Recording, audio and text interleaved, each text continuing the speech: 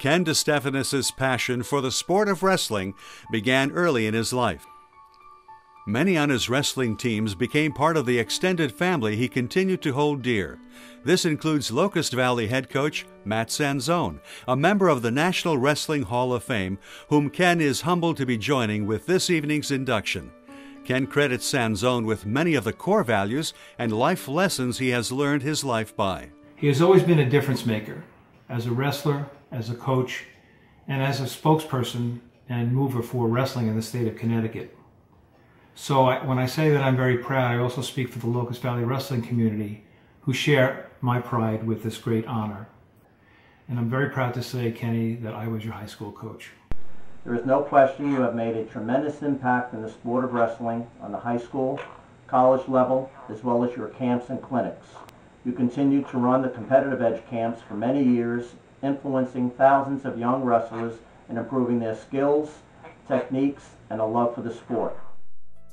The journey began in 1973 when Ron DeStefanis scored the first of many championship victories for the sons of Dr. Al and Angela DeStefanis as the family embarked on a domination of the sport of wrestling in Nassau County, New York, and beyond. The brothers DeStefanis, Ron, Ken, Al, Rob, and Carl have won over 125 tournaments, a jaw dropping 44 individual titles, including six New York State high school titles, eight Nassau County championships, and 30 league, invitational, and conference crowns. They also hold an incredible collective record of 406 and 48. Their family wrestling prowess culminated in Carl's 1984 national championship at Penn State. It was only fitting that the nationally known DeStefanis family's staggering successes and deep rooted lasting commitments to the sport were recognized in 2012 when they were honored as Long Island's first family of wrestling. After receiving his degree in education, Ken accepted a teaching job in Madison, Connecticut, and was offered the opportunity to coach at Daniel Hand High School as an assistant to Jim Flanagan. He immediately made his mark on the hand program, with the Tigers winning a team state championship that year. Ken coached his first individual state champion, Carmen Del Vecchio, who has remained in the sport as a highly respected wrestling official. It was my senior year, and our team had no idea what to expect with two new coaches. Ken brought us a Long Island style of wrestling that none of us had ever experienced before. And by the end of the year, he helped bring Daniel Hand High School its first wrestling state championship. I am proud to be Kenny's first state champ and honored to be able to congratulate him on being inducted into the National Wrestling Hall of Fame. The following season, the late George Redman, Central Connecticut's head coach at the time, was instrumental in bringing Ken back to the New Britain campus. Ken was the ideal choice to take the Central Connecticut wrestling program from the Division II ranks to Division I and make the Blue Devils the most exciting and fastest growing Division I collegiate program in the country. Ken is an outstanding individual who has dedicated much of his life to the sport of wrestling and more specifically to Connecticut wrestling. Without a doubt, Ken DeStefanis was my most significant wrestling mentor. The time that I spent coaching with Ken was the most important learning experience of my coaching career. Under his tutelage, I learned to recruit, motivate, and succeed as a college wrestling coach. During Ken's first year as head coach at Central Connecticut State University, I served as an assistant coach. We were a fairly successful Division II program. When I returned three years later to again coach with Ken, he had built the team into a top 40 Division I program that was winning conference titles. Ken DeStefanis has been a major contributor to Connecticut wrestling for well over 30 years. Through his coaching, camps, clinics, and clubs, he has positively influenced a great number of wrestlers from Connecticut and all over the Northeast. Many of these wrestlers have gone on to successful coaching careers and in turn influenced and mentored many additional wrestlers. My congratulations to Coach DeStefanis on this well deserved honor. Um, he wasn't just a coach, a mentor, a, uh, a, person who d- tries to develop character in you, teach you life lessons. Wrestling was really just a side entity to what he taught. And I learned so much that I still use today, uh, myself as a, as a teacher, as a coach, as an athletic director, as a business owner. Uh, congratulations, you absolutely 100% deserve this. I'm so excited that I can now tell everybody that my coach is in the Hall of Fame. Uh, and um, God bless and take care. When I came this country, Kenny was the first wrestling person I met. He helped me stay involved in the what I love most, wrestling. Kenny is excellent coach, excellent person, and excellent friend. Few coaches can claim the success Ken has had. Under his tutelage and recruiting savvy, the Blue Devils developed into one of the top Division I wrestling programs in New England and the Northeast while earning national respect and recognition. Central Connecticut took Division I by storm during their first Division I season, finishing with a 17 1 dual meet record and dethroning five time New England champion Boston University the Blue Devils earned their first of three straight New England Championship titles by winning five out of ten weight classes and sending five wrestlers to the Division I National Championships. Ken orchestrated consistently strong recruiting classes for the Blue Devils, such as in 1988 when it ranked 20th behind such powerhouses as Arizona State, Nebraska, and Iowa State. In 1991 92, Central Connecticut received its first national ranking. Four of his wrestlers were ranked in the top 28 of their respective weight classes, and the squad captured the East Coast Wrestling Association Championship. He compiled an overall record of 153, 58, and 2, and a winning percentage of 723 that ranked him among the top 20 active wrestling coaches in the nation. Ken is very distinctive from many of the members of the Hall of Fame.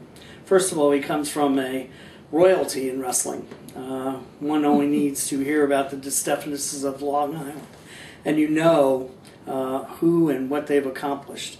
And this is just one more accomplishment for that incredible family. And was an outstanding coach uh, for Central Connecticut State University, and was um, in charge of their most successful program. Kenny's energetic, positive, uh, and truly one of the uh, more inspirational people I've ever been around. And so uh, this is well deserved. Congratulations. God bless. Good job, Kenny. He has coached many Division I New England champions and East Coast Conference champion and has had 10 wrestlers named as National Freshman All-Stars by Amateur Wrestling News during his career, a tribute to his ability to land some of the most talented freshmen in the country.